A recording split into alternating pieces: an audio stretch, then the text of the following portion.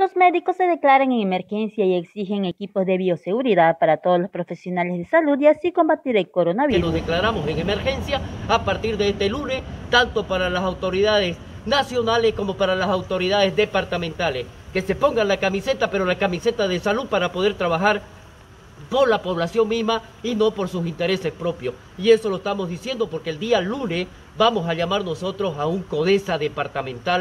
Los guerreros de blanco exigen que se cumplan con todas las medidas de bioseguridad para precautelar la salud de sus vidas y también de los pacientes. Con ello también apelo a la fiscal de distrito, al jefe departamental del trabajo, para que puedan hacer las inspecciones no solamente en el Hospital San Juan de Dios en su, en su servicio, sino también en los demás hospitales de primer y segundo nivel, porque debe precautelarse también la salud del trabajador que tienen estos hospitales y que están funcionando en turnos de 12 y 24 horas.